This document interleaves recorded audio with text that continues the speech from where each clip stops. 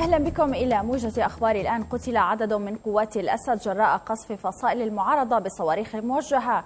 مواقع لهم في جبل التركمان بريف اللاذقية الشمالي. وكانت الفرقة الساحلية التابعة للمعارضة قد نشرت مقطعا مصورا أثناء استهداف مقاتليها بصاروخ تاو موقعا لقوات الأسد. إذ أكدت مصادر من الفرقة أن خمسة أفراد من قوات الأسد على الأقل قتلوا جراء الهجوم. استهدفت غارات جوية للتحالف الذي تقوده الولايات المتحدة مواقع لداعش في الرقة في الوقت الذي حققت فيه قوات سوريا الديمقراطية مزيدا من المكاسب شملت استعادة السيطرة على مستشفى استراتيجي. هذا وأكد المتحدث باسم وزارة الخارجية الأمريكية أن معركة تحرير الرقة والسيطرة عليها ستستمر حتى يتم إنهاء وجود تنظيم داعش في سوريا. أكد المتحدث باسم قوة الرد السريع التابعة لوزارة الداخلية العراقية المقدم عبد الأمير المحمداوي أن الاستعدادات جارية لوضع الخطط للبدء بعمليات تحرير قضاء تل عفر قريبا. وأضاف المحمداوي أن التنسيق يتواصل مع القوات الأخرى التي ستشارك في العملية مشيرا إلى أن عملية تحريرها ستكون عملية نوعية وفي وقت قياسي.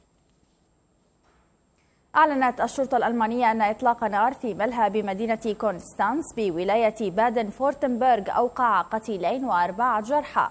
وأوضحت الشرطة أن شخصا لقي حتفه إثر إطلاق أعيرة نارية في الملهى كما لقى الجاني المشتبه فيه حتفه بعد تبادل إطلاق نار مع الشرطة.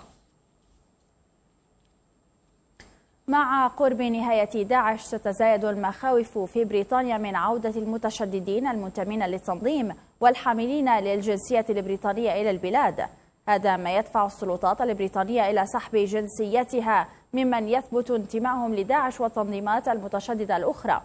وقالت السلطات البريطانية بأنها سحبت جنسية 150 شخص متشدد خلال الست سنوات الماضية. وقد زادت الحكومة من استخدام أوامر الحرمان من الجنسية بعد تحذيرات مفادها أن 300 إرهابي يمكن أن يعودوا إلى المملكة المتحدة.